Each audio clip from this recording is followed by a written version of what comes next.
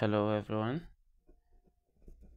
You're welcome to Phil Cool Mathematics. And um, before us, we have 4 to the power of a plus 4 to the power of a equals 20. Meaning that we should find the value of 4 to the power of a. We should find the value of a in this equation. But then we can add this mind you we have 4 to the power of a in these two places right? So you can factorize 4 to the power of a then you have 1 plus 1 and this is equal to 20 now this is 4 to the power of a multiplied by 2 equals 20 right?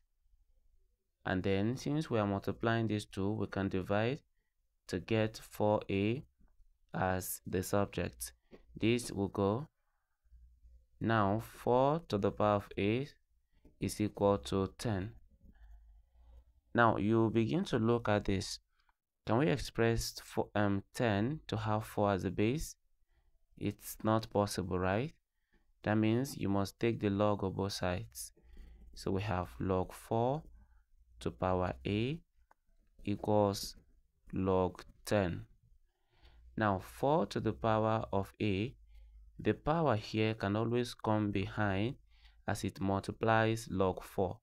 So we have a multiplied by log 4 and that is equal to log log 10 right now we are looking for the value of of 4 right sorry we're looking for the value of a so we need to remove log 4 from here. And we don't do that by subtracting. We do that by dividing both sides by log 4.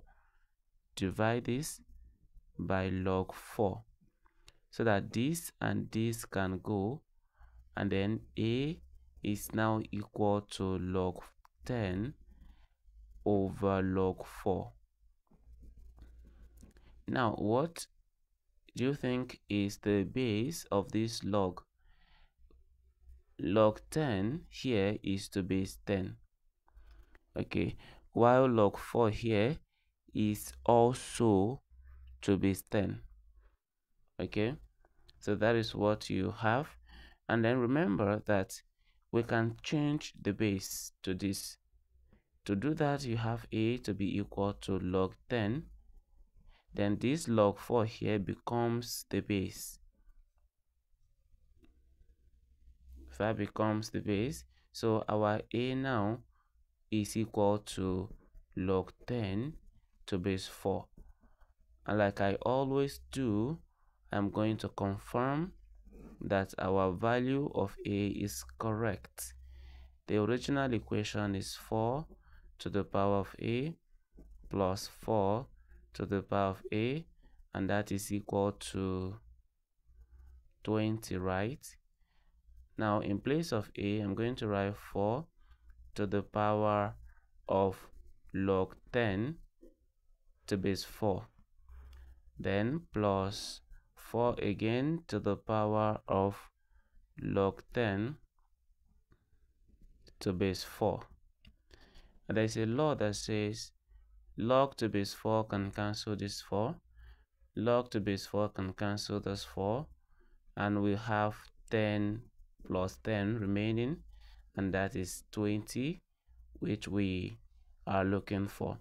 So it is to confirm that a equals log 10 to base 4 satisfies the equation. Thank you for watching and if you love this video subscribe to my channel